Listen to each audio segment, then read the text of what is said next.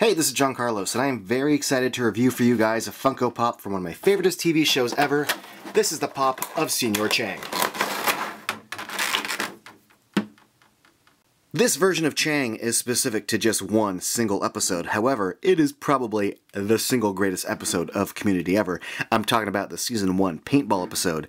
And his look in that episode is so rad when he shows up in this John Woo-ish paintball attire. Uh, the white suit is very well sculpted.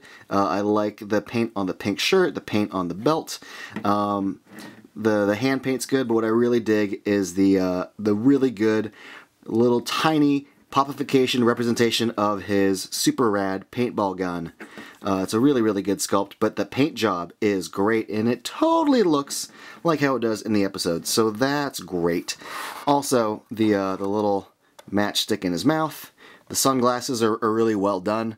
Um, the lenses and the frames look really, really good. Uh, the sculpt of his hair looks good.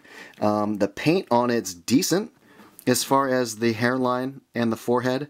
Um, not amazing, not terrible.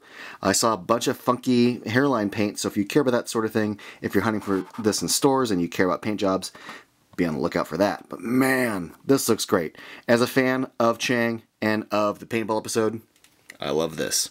Thanks for watching, everybody. And if you want, you can follow me on social media thingies. Here are the links.